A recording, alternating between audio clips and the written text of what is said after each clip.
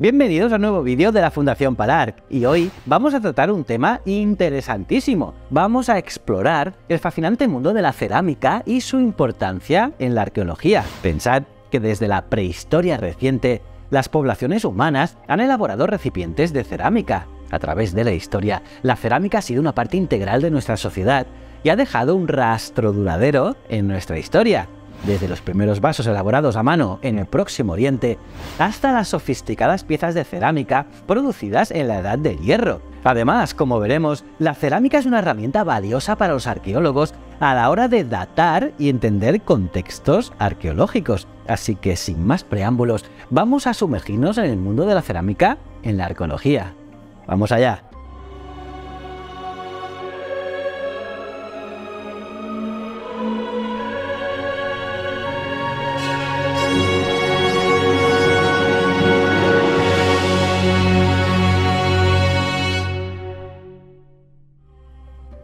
Dentro de los materiales que pueden encontrarse en una excavación arqueológica, la cerámica constituye sin ninguna duda uno de los más útiles. De hecho, los restos cerámicos son de los artefactos más característicos y más utilizados por parte de los arqueólogos a la hora de elaborar secuencias cronológicas, y lo es debido a la gran información que aportan. Por ejemplo, solo para el periodo romano contamos con un conocimiento amplio de las formas y evolución cronológica de los diferentes tipos elaborados durante casi mil años por los artesanos romanos, lo cual hace que su estudio y comprensión sea un pilar fundamental a la hora de afrontar una excavación arqueológica donde se sospeche que haya ocupación de época romana. Las primeras cerámicas conocidas proceden del Próximo Oriente, en torno al 8000 a.C., aunque investigaciones más recientes sugieren que la fecha puede ser anterior. Por ejemplo, dentro de la cultura Homon en Japón existen vasos cocidos correspondientes al 10.000 a.C. La cultura Homon fue una cultura prehistórica de Japón, conocida principalmente por estos vasos cerámicos, que son unos vasos elaborados a mano y decorados con motifs de cordones y redondeles, que le dan el nombre a esta cultura, una cultura que se desarrolló durante el periodo glacial del Pleistoceno. Y si hablamos de cerámica en el panorama hispano, existe la presencia de vasos cerámicos elaborados a mano desde el Neolítico antiguo, es decir, en torno al 6000 a.C. Pensad que el modelado a mano fue muy frecuente durante todo el Neolítico y la Edad de los Metales, también en el Calcolítico y en la Edad del Bronce.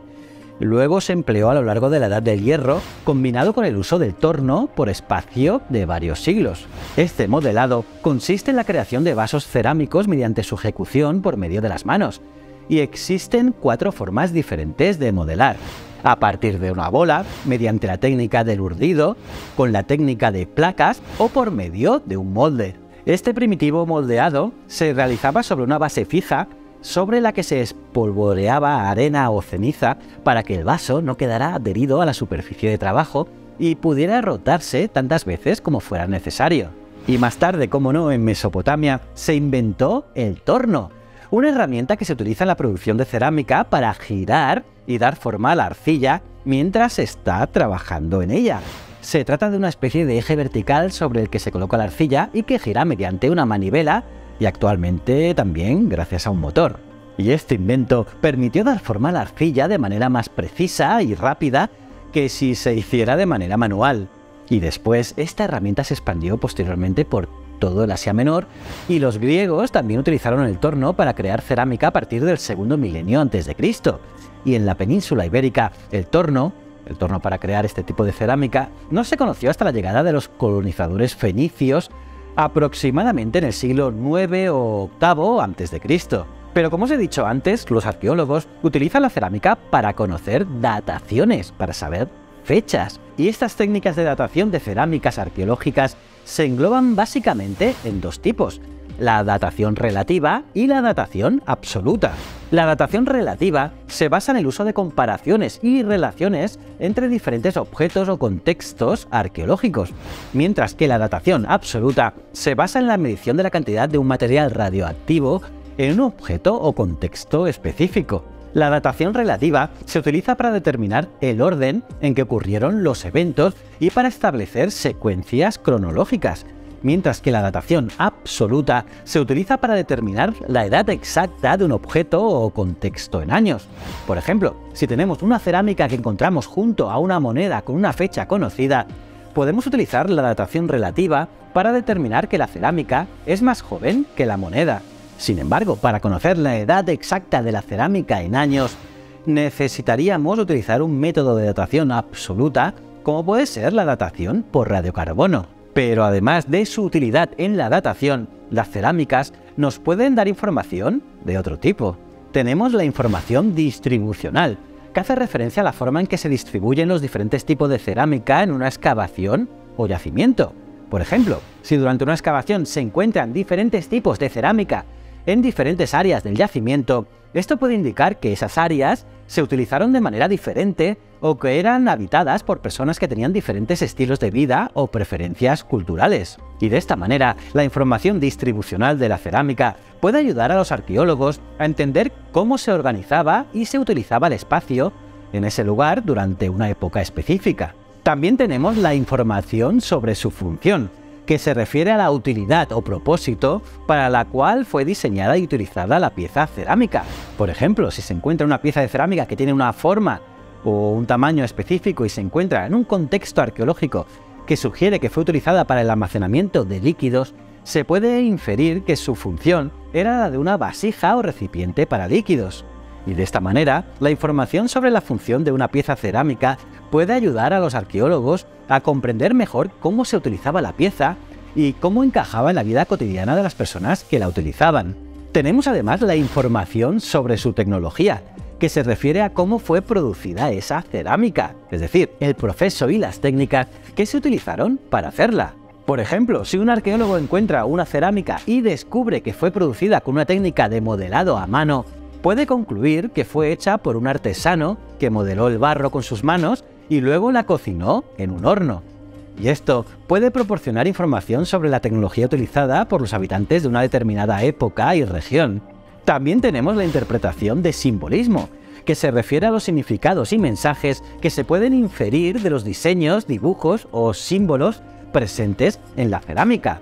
Por ejemplo, en algunas culturas antiguas era común utilizar simbolismos religiosos o políticos en la decoración de los vasos cerámicos, y estos pueden ayudar a los arqueólogos a comprender mucho mejor las creencias y también las prácticas de esa cultura. Otro tipo de información gracias a la cerámica es sobre la formación del yacimiento, que se refiere a cómo se originó el lugar donde se encontró la cerámica.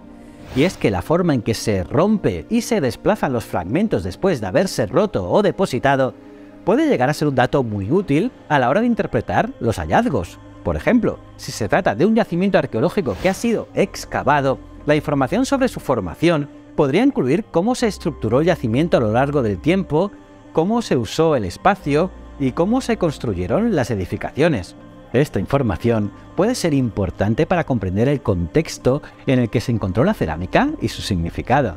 Además también podemos tener información sobre la cultura y costumbres, que se refieren a los usos, creencias y prácticas de una sociedad determinada que se pueden deducir a partir del análisis de la cerámica. Por ejemplo, si se encuentra una cerámica con motivos decorativos de un determinado tipo, puede ser indicativo de una cierta tradición o ceremonia en esa sociedad. De la misma manera, el uso de determinados materiales o técnicas de producción en la cerámica también puede proporcionar información sobre las costumbres de esa sociedad en cuestión. Pensad que la cerámica decorada con escenas puede resultar una fuente inapreciable para el conocimiento del armamento, vestimenta, usos y costumbres de carácter cotidiano o aspectos relacionados con creencias religiosas y tradiciones. Y por último, gracias a la cerámica podemos tener información sobre consumo, que se refiere a cómo y para qué se utilizaba la cerámica en la sociedad en la que fue producida. Es decir, a partir de las analíticas de residuos se puede determinar el contenido específico de los recipientes cerámicos, por ejemplo, si se encuentra una cerámica con restos de comida y bebida en su interior, se puede inferir que fue utilizada para contener alimentos y bebidas. Y claro, también se puede inferir el tipo de alimentos y bebidas que se consumían en esa sociedad a partir de, estos restos encontrados en la cerámica. O sea que tela, tela, tela. Y nada más por hoy. ¿Te esperabas que la cerámica fuera tan importante en arqueología? Pónmelo en los comentarios.